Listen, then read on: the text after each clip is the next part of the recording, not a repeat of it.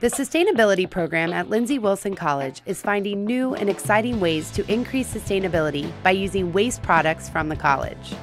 Doug Keaton, Sustainability Coordinator, is responsible for creating biodiesel by converting waste vegetable oil for the school's diesel vehicles. Keaton discovered a way to create a new product called the Bio Fire Starting Burger by using byproducts.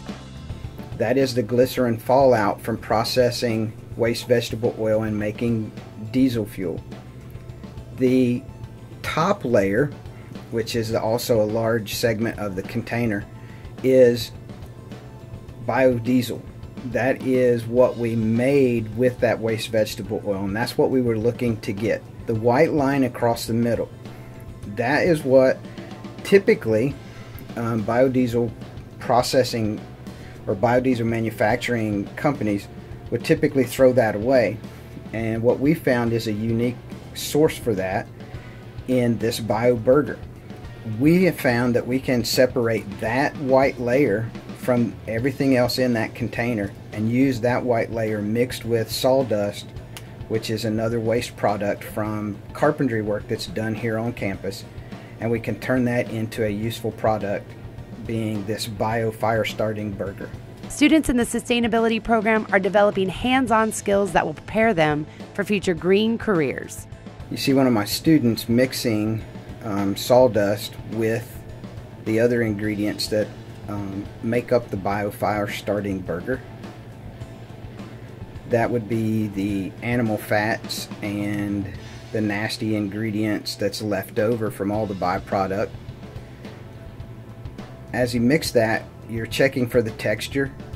Um, you want that to be moist but not wet. Um, if you need to add some more, that's what you see a student doing there. And again, continually checking for the texture. That looks like it's ready to press and put into a mold. You can see the student holding a mold in his uh, hand and he's going to fill that mold up through the bucket press it on the side and once he has the mold filled completely full um, he'll lay that on the table and uh, use a glass bottle that we found in the trash to recycle and he will use that to um, press both sides of this burger. Once he's pressed both sides of the burger he'll then push that out of the mold then we're going to weigh that bio burger. We're looking for 120 to 130 grams.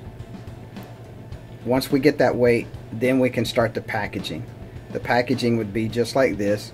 Put it in heat shrink and cut off the excess with your um, iron. We're going to blow hot air onto that and seal that packaging up. You see it gets a good seal all the way around it, prevents leaks, uh, prevents making a mess. And now the test burn. And it will engulf the surrounding edge and across the top.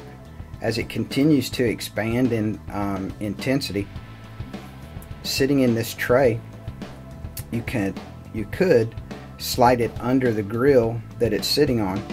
You can boil water with it, you can cook, you could purify water with it. Multiple things you could do. You could even just dry out some clothes to keep your hands warm. You can see the temperature expanding as the flame expands.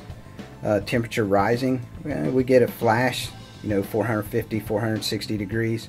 And we're using an infrared thermometer to continually check that temperature. One of the nice things that you'll notice uh, when you burn one of these, there's no odor and minimal smoke. Um, very safe, biodegradable, user friendly, simple to use.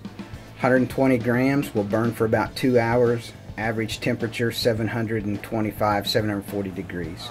For more information about the program, visit the Lindsey Wilson College website at www.lindsey.edu.